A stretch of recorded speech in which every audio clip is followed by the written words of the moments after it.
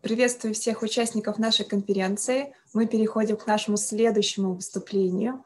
Я рада приветствовать нашего спикера Елкину Ксению Ивановну, почетного работника сферы образования Российской Федерации, учителя английского языка и заведующий кафедрой иностранных языков гимназии номер 12 в городе Твери. Ксения Ивановна выступит с очень интересной темой о, о становлении вторичной языковой личности, поэтому я рада передать ей слово. Здравствуйте, уважаемые коллеги. А, очень рада, что вы присутствуете на этой конференции чудесной огромное количество участников присоединилось уже с самого начала. Интереснейшие выступления мы сегодня слушаем. Надеюсь, что я вас тоже сегодня не разочарую. А, тему я выбрала такую неспроста. А, есть очень интересная а, тема лингводидактики и методики преподавания, которая вышла на передний план ну, в ближайшие, так скажем, в последние 30 лет, да, 20-30 лет. Языковая личность стала объектом внимания этих двух течений – лингводидактики и методики обучения иностранным языкам. А, появился э, и возник этот вопрос в связи с изменениями парадигмы и идеологии лингвистических исследований. Как вам известно, лингвистика всегда в своей основе, в свою основу вкладывала язык. А, но с течением времени внимание приковала к себе языковая личность человек, который а, совершает эти самые речевые поступки. А, в связи с этим потребовалось пересмотреть и всю методологическую основу обучения иностранным языкам. А, я бы хотела сегодня остановиться на этом вопросе и привести вам примеры того, как методически можно переструктурировать а, весь урок в связи с приобщением и развитием, приобщением детей к культуре и развитием социокультурной компетенции школьников через работу с нашим новым а, учебно-методическим комплектом ТИМАП вместе. А, это УМК для базовых школ. Я буду сосредоточена на 9-11 классах, и все примеры буду брать оттуда – Надеюсь, что вам будет интересно. Ну, остановимся снова на языковой личности. А, в качестве одного из наиболее распространенных определений а, можно привести следующее. Языковая личность есть личность, выраженная в языке, текстах и через язык. Это личность, реконструированная в основных своих чертах на базе языковых средств. А, меня очень сильно вдохновила работа Людмилы Петровны Халяпиной, а, доктора педагогических наук, профессора кафедры лингводидактики и перевода Санкт-Петербургского политехнического университета имени Петра Великого. Ее труд «Трансформация концепта языковая личность». А, и в связи вот э, с этой работой чудесной я стала пересматривать для себя понятие первой, первичной языковой личности, второй, а, вторичной языковой личности. А, тогда мне стало известно, что в отношении речевого развития ребенка Выгодский делает очень важное замечание. Все речевое развитие ребенка в целом и не только частота его родной речи – а далее все интеллектуальное развитие ребенка и, наконец, развитие характера, даже эмоциональное развитие, все это отражает непосредственное влияние речи. И в этом, конечно же, можно а, усмотреть большое влияние речи, в том числе и, на, и иноязычной, на развитие личности ребенка. Тогда получается, что овладение иностранным языком – ориентирована не только на деятельность и общение, то есть на собеседника, а, это коммуникативный да, аспект, как мы с вами понимаем, и не только на образ мира, а, то есть на сознание, когнитивный аспект и на личность учащегося. А, и тогда, говоря уже о том речевом развитии, которое получает ребенок на родном языке, и на иностранном языке, мы понимаем, что связь между ними очень тесная. Бесспорно возрастают познавательные языковые коммуникативные способности обучаемого. Его родная речь становится богаче, правильно оформленной из-за сравнения. Да? Вы вот слушали про интерференцию только что передо мной. Отмечается развитие речевых способностей и психических функций, связанных с речевой деятельностью. А, собственно, речевая деятельность на иностранном языке тогда а, способствует как интеллектуальному, так и личностному росту а, школьника посредством специально организованного и реализуемого общения. Также имеет место установление произвольного общения контексте ситуации и качественный скачок в развитии самооценки, когда ребенок выделяет себя как субъекта деятельности, как личность. Мы с вами понимаем, что современное общество заинтересовано в том, чтобы а, выпускник, модель идеаль, идеального выпускника, да, был у нас гуманистическим мышлением, разделяющий общечеловеческие ценности. И изучение иностранного языка, в свою очередь, является средством развития практических умений взаимодействия с представителями других культур, коммуникативных качеств личности, гибкого мышления и толерантности. Что же тогда вторичная языковая личность? Мы понимаем, что первичная языковая личность – это вот мы в языке, это наше приобретение а, родного языка и постижение родной культуры. Так формируется первичная языковая личность.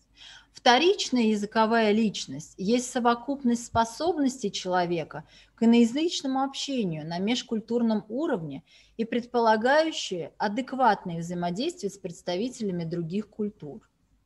Она складывается из овладения вербально-семантическим кодом – то есть языковой картиной мира носителей языка, и глобальной, концептуальной картины мира, позволяющей человеку понять новую для него а, социальную действительность. Развитие обучающегося черт вторичной языковой личности, а, делающих его способным быть эффективным участником межкультурной коммуникации, и есть, собственно, стратегическая цель обучения иностранному языку. Тогда у нас с вами а, возникает вопрос, за счет чего формируется вот эта вторичная языковая личность? Оказывается, что вторичная языковая личность у человека, владеющего, владеющего иностранным языком, формируется под влиянием, как я уже сказала, первичной языковой личности, которая сформирована родным языком человека. Тогда выдвигается идея, что уровень развития языковой личности – освоенность типов понимания на родном языке определяет готовность языковой личности на иностранном языке общаться. В ходе изучения русского языка как иностранного формируется неполная модель языковой личности.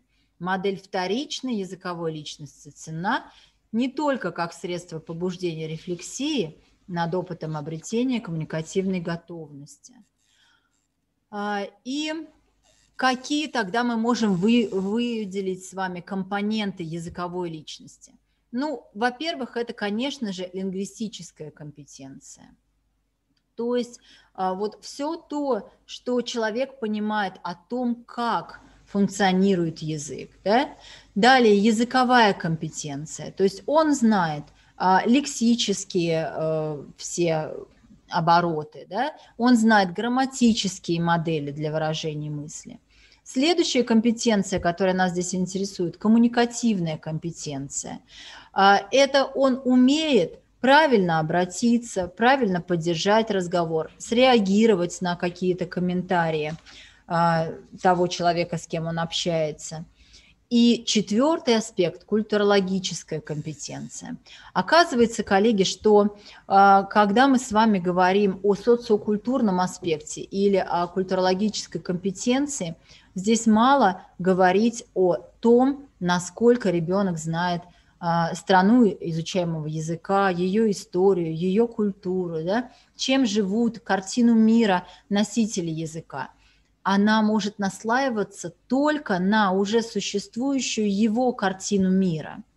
А, и тогда получается, что когда мы с вами говорим о вещах, которые относятся конкретно к странам изучаемого языка, и если при этом ребенок не знает а, понятия сходные а, в его стране, то это знание ни на что не накладывается. Оно, конечно, возможно, удивит, а, слушающего ваш школьника, но тем самым оно не изменит его отношение, его личность. Поэтому в связи с этим а, мы э, в нашем ОМК считали необходимым обязательно подтянуть еще и знания ребят о культуре родной страны. А, мы вкладывали понятие первичной языковой личности – а, в, и, и контент, который они должны знать, содержание в этот учебник. Для чего, с какой целью? Ну, конечно же, в первую очередь для того, чтобы ребенок узнал больше о стране своей родной. А во, втор, во вторую очередь для того, чтобы он мог найти вот эти сравнения и сопоставления чужой культуры с нашей культурой. Ну и, конечно же, чтобы он мог а, понять и на основе критического мышления уже сделать свои выводы о стране изучаемого языка и тем самым в дальнейшем выстроить правильное, правильное взаимодействие, правильный акт коммуникации. А, вот. Э, вот такое теоретическое вступление я дала вам именно для того, чтобы вы понимали, о чем я сегодня хочу э, рассказать и какие ключевые моменты я бы хотела донести. А, как я уже сказала, мы очень много внимания уделяем лингвистической компетенции, языковой компетенции, коммуникативной компетенции, которые, естественно, а, ну, на сегодняшний день и всегда было а, в последнее время ведущей компетенцией. Мы учим для общения. Но сегодня я хочу еще разок обратить ваше внимание на необходимость формирования и развития социокультурной компетенции. Социокультурная компетенция, конечно же, является неотъемлемой частью иноязычной коммуникативной компетенции. В федеральном государственном образовательном стандарте социокультурная компетенция определяется как приобщение к культуре, приобщение к традициям, реалиям страны или стран изучаемого языка, в рамках, конечно, тех тем и сфер ситуации общения, отвечающих опыту, интересам, психологическим особенностям учащихся на разных ее этапах. Социокультурная компетенция формируется в первую очередь через овладение культурой носителя языка. На сегодняшний день, благодаря э, развитию средств телекоммуникации и мирового информационного пространства, на первое место по доступности выходят глобальные медиаресурсы и произведения массовой культуры. А для того, чтобы быть использованными на уроках, произведения, которые из учебника нам хочется использовать и которые мы использовали в нашем ОМК, должны иметь следующие характеристики. Ну, во-первых, это аутентичность используемых материалов. А вот в данный момент на слайде вы видите, а, это кусочек из учебника для 9 класса, где на основе видеоаудирования ребятам предлагается сделать comparison, а, то есть найти сходство и различия между тем, что изучают ученые а, в данный момент в англоязычных странах, да, и чем заняты наши ученые. Ну, у нас сейчас с вами глобальный мир, поэтому понятно, чем заняты наши ученые, все активно, конечно, пытаются решить проблему, которая у нас сейчас э, сложилась. Э, в данном задании – Uh, read the question and watch the video. Say what the speakers answer. Then in pairs, ask and answer the question. What have scientists been working on recently? Мы, конечно же, будем предполагать с вами, что ученые разрабатывают какие-то новинки, да, новые изобретения, которые совершенствуют или решат какие-то проблемы современности. И тогда, обсуждая уже на уроке, ребята будут делиться своим опытом того, что они узнали. Может быть, перед ними никогда и не вставал вопрос, а что изучают ученые в данный момент, да, в нашу э, действительность. А, но вот таким образом мы побуждаем их и даем им аутентичную информацию в виде видео и, конечно же, а, видео записано носителями языка. Информационная насыщенность – следующий аспект, который обязательно а, характеризует социокультурную компетенцию. А, информационная насыщенность предполагает огромное количество информации, большое количество новой лексики, а информация дозирована. Смотрите, какие небольшие интересные тексты. Начинается задание с простого обсуждения. What you usually wear on school days? And what do you usually wear at the weekend? Что уже побуждает, в общем-то, школьников а, интересно обсуждать новую тему, а тема здесь um, fashion, как вы уже поняли. Смотрите, какие интересные темы. Great style has no size.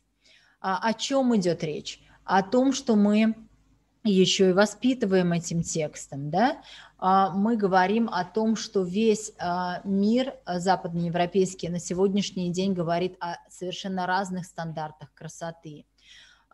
И мы можем перейти на то, как у нас в России представлены эти темы, да, можно ли найти модную одежду всех размеров или только а, размерный ряд 42-46 на эти бренды и тренды.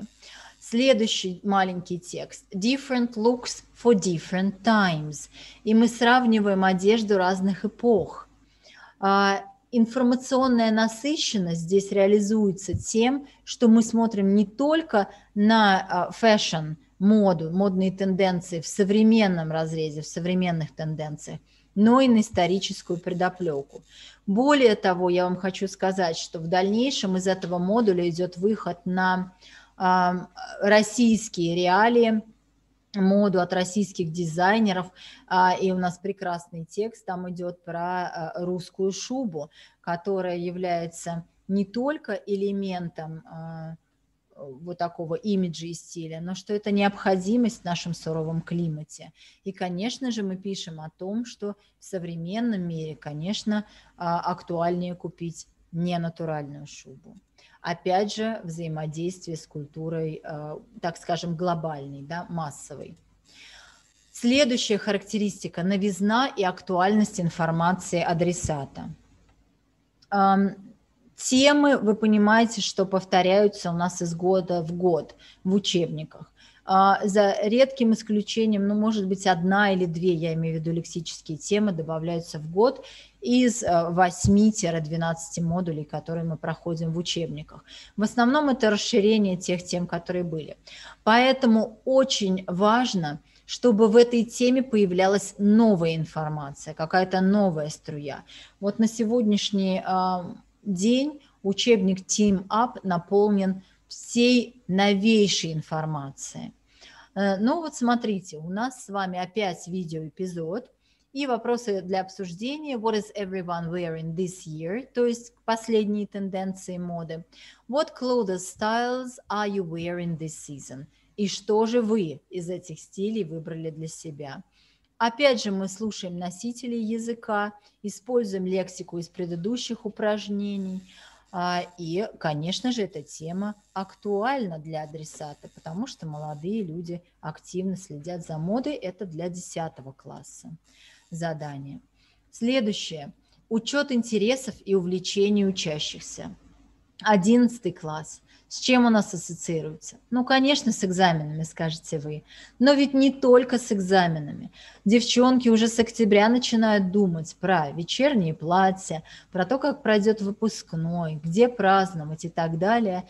И появляется в 11 классе уже в самом первом триместре, если не в сентябре, то в октябре точно, прекрасный текст «A Night to Remember». И опять же мы говорим, смотрите, о той же самой моде, но уже в разрезе совершенно других событий, с учетом интересов, увлечений учащихся. И, конечно же, а, с учетом того, а, что это опять дополнительный, так скажем, новый а, материал. Следующая характеристика социокультурной компетенции – соответствие речевых высказываний литературной норме иностранного языка. Но здесь уж учебники точно стараются, и авторы УМК очень стараются подобрать лексику, которая будет живая, но при этом не уйдет в сильно разговорный стиль или сильно э, сленговый да, вариант. А, поэтому все наши разделы speaking, participating in conversation или друг, э, любые другие разделы, они, конечно же, представляют огромное разнообразие языковых структур. А, и они, эти фразы, это вот как раз а, языковая составляющая той самой социокультурной компетенции, о которой мы говорим с вами, языковая составляющая э, вторичной языковой личности, когда ребенок понимает, что надо сказать так, по-другому нельзя, принято именно так сказать, what do you mean, или what do you think, а не how do you think, как нам легче было бы, например, запомнить. А чем уникальны задания именно а, развития устной речи здесь? Тем, что они очень разнообразные. Это и дополнение диалогов, и обсуждение свои, и обсуждение небольшие, небольшими группами тем таких как, например, «Shopping for clothes is boring» или «There aren't any good clothes for young people in this town». Ну, то есть они, видите, связаны с как раз подростками, интересующими их темами, и так или иначе их побуждают соглашаться, не соглашаться, продолжать разговор и выстраивать свою мысль. Шестой аспект социокультурной компетенции – это доступность для понимания или соответствие уровню владения иностранным языком и интеллектуальному развитию обучающихся. Ну, наверное, не своевременно было бы увидеть такой текст The Voyager Program Physics Project а в УМК, например, для пятого или шестого класса, где ребята еще с трудом представляют, что такое физика, и, в общем-то, с астрономией еще сталкивались только в окружающем мире постольку и поскольку. Поэтому вот этот аспект как раз доступности для понимания не только э, с точки зрения языка, но и с точки зрения их готовности а, читать или выслушивать ту или иную тему, а, этот аспект не менее важен. Последний аспект – это организация отобранных материалов в соответствии с принципами тематичности по нарастанию сложности материала.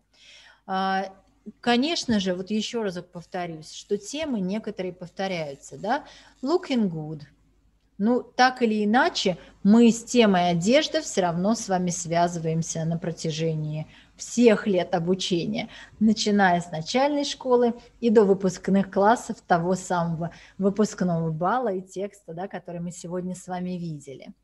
Uh, the digital mind. Uh, с технологиями тоже мы сталкиваемся везде. По нарастающей идет uh, сложность материалов, и э, даже внутри одной и той же темы. Я уже не говорю, что темы усложняются. А, и, наверное, а, how to give a presentation, эта тема может быть использована в качестве life skills, да, навыков, без которых на сегодняшний день не прожить, и в начальной школе. Но в одиннадцатом классе она будет более наполненная информацией и более сложная а, с точки зрения, может быть, всех еще психологических аспектов, как правильно выступать, чтобы было интересно тебя слушали. Приобщение к культуре, традициям, реалиям страны изучаемого языка в рамках тем, сфер, ситуации общений, отвечающих опыту, интересам, психологическим особенностям учащихся основной школы на разных ее этапах – это и есть, а, в общем-то, а, социокультурная компетенция в, де в действии. А, важно, чтобы материал в наших учебниках побуждал ребят сравнивать, сопоставлять культуры. Но это не все еще. Очень хочется, чтобы помимо того, что они узнавали о том, как ведут себя носители языка и что важно в их культуре для них, чтобы они постигали и сравнивали это все со своей культурой. А социокультурные знания – это не только осуществление межличностного, межкультурного общения, понимание наиболее употребительной лексики, понимание речевых различий в ситуациях официального, неофициального и лексики грамматики. Это еще и умение представлять социокультурный портрет родной страны и стран изучаемого языка. А в связи с вот этой последней опцией, да, которую я сейчас упомянула, мы добавили специальный раздел, который называется Russian Files и My Culture. Это разделы совершенно новые, а, вы можете сказать, что во многих УМК вы видели подобные, но мы составляли и готовили их с точки зрения того, что в первую очередь носитель языка захочет узнать, то есть то, о чем уже слышали. А, и плюс мы добавляли то, о чем, может быть, и сами носители языка, то есть мы, россияне, не всегда умеем рассказать. А, например, ОМК 9-11 класс мы посвятили Уралу, легендам а, этого чудесного региона, да, а, всем заданиям, чтобы ребята могли рассказать интересно и захватывающе все истории, которые связаны с этим регионом, с его прекрасной природой, с его уникальной культурой. Кроме того, мы добавили задание а, в, Rush, в разделах Russian Files на сопоставление культур. Смотрите, это раздел называется Work Out the Difference. На умение обсуждать, доказывать свою точку зрения. Это раздел Discuss. Во всех Russian Files эти разделы вы увидите. Раздел нам уже любимый и знакомый Read and Think, он традиционный. А вот дальше очень интересные три раздела. Первый раздел называется Think of Your Values, где ребятам нужно выстроить дискуссию, решить, какие правда относительно их личности, какие неправда. Ну, например, most young people in Russia want to set up their own business.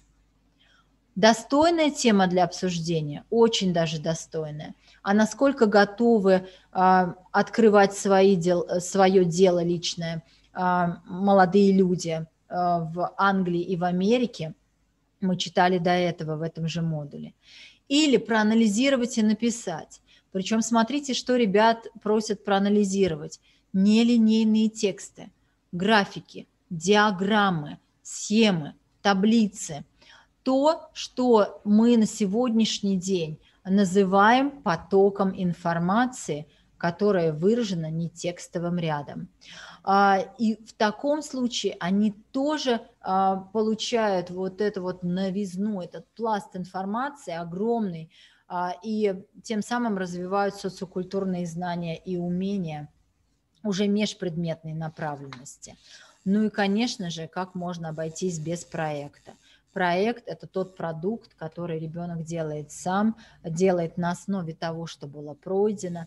Ну, например, the teacher of the year. Discuss the job of a teacher, which is popular. Uh, only girls want to be teachers. The job of a teacher is creative and interesting. И все эти аспекты можно сложить в единый интересный проект.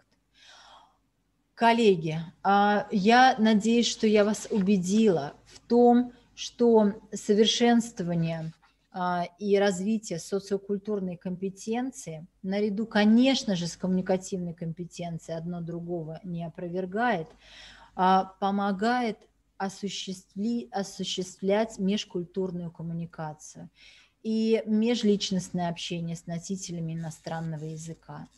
И вот по последним исследованиям именно несформированная социокультурная компетенция является тем самым камнем преткновения, который ведет к языковому барьеру и страху общения.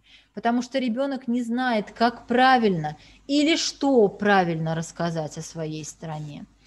Поэтому э, формирование коммуникативной компетенции невозможно без всех составляющих частей, в том числе и социокультурной компетенции, наравне со всеми остальными. Стараемся развивать в своих учениках каждый ее компонент. Надеюсь, что новый ОМК вам приглянулся а, и что-то вы для себя интересное нашли. Спасибо вам большое за внимание. Наше время, к сожалению, заканчивается. Буду очень рада ответить на вопросы. Пожалуйста, Анна. Спасибо большое, Ксения Ивановна, за ваше прекрасное выступление. Все вопросы, которые поступили нам по поводу вашего выступления, мы обязательно рассмотрим, переадресуем нашим экспертам и дальше сделаем рассылку всем участникам конференции, а, чтобы вы смогли спокойно ознакомиться со всей информацией а, в более таком расслабленном режиме. Большое спасибо за ваше выступление. И я хотела бы сделать также анонс. Если вас заинтересовало данный ОМК вместе, то у нас есть специальная страница, которая посвящена как раз этому комплексу TeamUp prost.ru, заходите, там есть много разной дополнительной информации, вебинары, методические статьи, разработки, и вы обязательно узнаете чуть больше про это а, учебное пособие. Также мы можем выслать вам на адрес школы ознакомительный комплект, а, чтобы вы могли а, потрогать его, полистать, посмотреть картинки. Это всегда приятно, потому что держать в руках э, книжку настоящую бумажную всегда, конечно, особый кайф. Поэтому, если вам это интересно, пожалуйста, пришлите нам запрос на а, наш адрес teamup, а, одним словом, а, собака прост.ру. Мы с вами свяжемся и отправим вам этот ознакомительный комплект на адрес школы. Спасибо большое за ваше выступление. Мы будем переходить к нашему следующему спикеру. Пожалуйста, не переключайтесь. У нас будет дальше Мишин Андрей Валентинович, и мы продолжим нашу конференцию. Спасибо, что посмотрели.